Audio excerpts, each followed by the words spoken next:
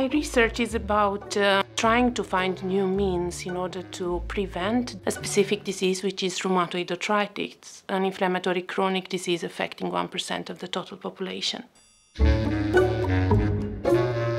I'm from Romania, Bucharest.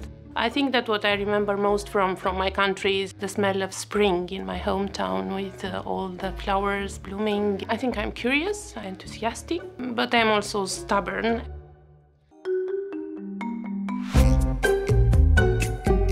I took uh, with me my first lab book. It includes uh, my first notes in the lab, all the beginner's tricks uh, written down and how to take care of cells, how to prepare a buffer. It's very interesting.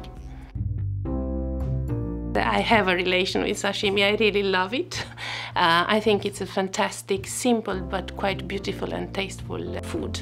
I uh, eat sashimi like uh, two, three times a week. When I really enjoy something, I never get tired of it.